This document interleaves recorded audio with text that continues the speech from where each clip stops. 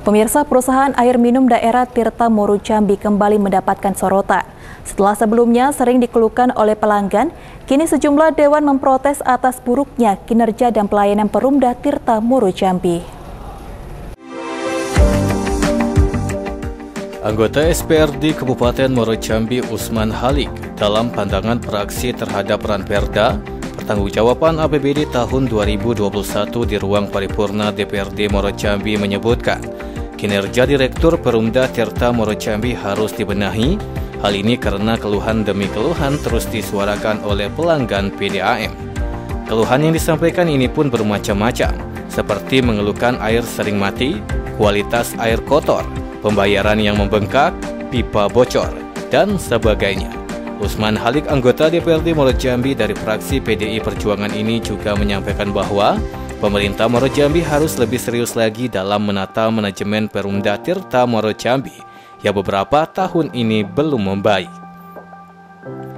Dirinya juga menegaskan jika buruknya pelayanan Perumda Tirta Moro Jambi tentu tidak luput dari manajemen dan sumber daya manusianya bisa jadi tidak energik, kurang berkualitas atau diduga penuh dengan masalah Bahkan dirinya menyarankan agar Direktur PDAM Muaro Jambi dapat segera diganti dan dilakukan evaluasi secara menyeluruh terhadap jajaran.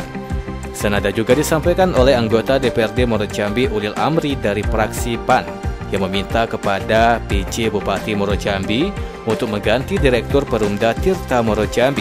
Dan jika persoalan PDAM memang sering terjadi, bahkan dirinya sudah sering mendengar langsung keluhan dari masyarakat serta minta pelayanan harus ditingkatkan. Ya, PDM ini kan saya melihatkan uh, kita berharap mendorong mereka ya sampai kita kritisi juga ya kan? Karena PDM itu sudah merupakan pelayanan publik karena dia sudah menyangkut kebutuhan dasar itu ketika air tidak ada macet semuanya akan terganggu. Kegiatan rumah tangga, tangga terganggu termasuk juga kegiatan usaha orang gitu kan Nah kita harus segera kita benahi lah. Jadi saya ada dua persoalan di situ, yaitu persoalan manajemen pengolahan PDM itu, ya kan? Itu kan harus dievaluasi lagi, diaudit lagi itu kan, di mana salahnya, sehingga tidak jalan pelayanan yang baik.